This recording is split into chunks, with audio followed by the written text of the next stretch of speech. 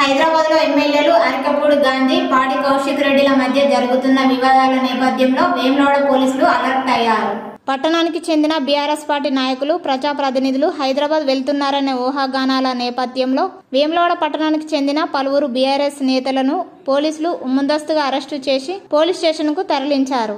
ఈ సందర్భంగా కౌన్సిలర్ నిమ్మచెట్టి విజయ్ మాట్లాడుతూ సీఎం రేవంత్ రెడ్డి చెప్పిన ఇందిరమ్మ రాజ్యం ఇదేనా?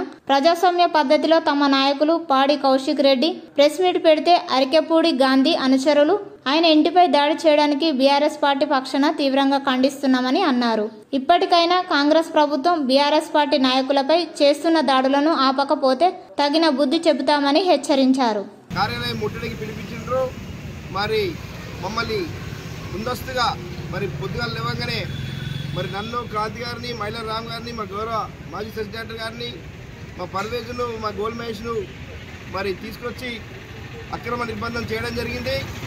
మరి ఒక్కటే చెప్తాను ప్రజాస్వామ్యంలో ఏదైతే అరగపూడి గాంధీ ఎమ్మెల్యే గారు మరి పిఎస్సి చైర్మన్ కావడానికి అర్హత లేదు నువ్వు కాంగ్రెస్ పార్టీలో చేరినావు నువ్వు మొగను అయితే మరి టీఆర్ఎస్ కండవ కప్పుకొని గాంధీ భవన్లో ప్రెస్ మీట్ పెడదామని సవాల్ విసిరిన మా పార్టీ కౌశిక్ రెడ్డిపై మరి పోలీసులు అరకపూడి గాంధీ గారికి సెక్యూరిటీ ఇచ్చి మరి ఆ యొక్క పాడి కౌశిక్ రెడ్డి గారిని గృహ నిబంధన చేసి మీరు నిజంగా మరి పార్టీకి ద్రోహం చేసి పోయినా మాకు పర్వాలేదు కానీ ఒక నిజాయితీగా మరి కాంగ్రెస్ పార్టీలో నువ్వు బహిరంగంగా చేరి మరి నేను చేరలేదు నేను నియోజకవర్గ అభివృద్ధికి మాత్రమే సీఎం రేవంత్ రెడ్డి గారిని కలిసిన అని చెప్పి నిస్సిగ్గుగా అబద్ధాలు చెప్పిన దాన్ని నిజం చేయడం కొరకు మా పాడి కౌశిక్ రెడ్డి గారు మరి ప్రెస్ మీట్ పెట్టడం జరిగింది.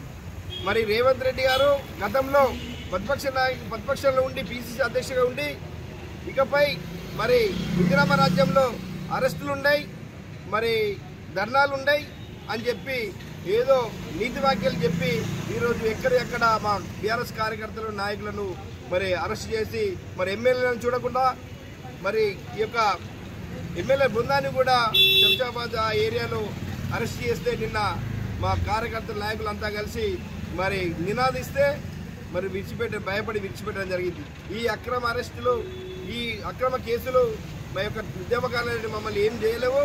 దయచేసి ఖబర్దార్ ప్రజాస్వామ్యంలో మన ప్రజాస్వామ్యాన్ని కాపాడిన బాధ్యత ఈ యొక్క రాజకీయ నాయకులపై ఉంది. ఈ ప్రభుత్వం మీద ఉంది కాబట్టి మీరు ఇలాంటి శిల్పి ప్రయత్నాలు మానుకోవాలని ఈ సందర్భంగా హెచ్చరిస్తా ఉన్నాం.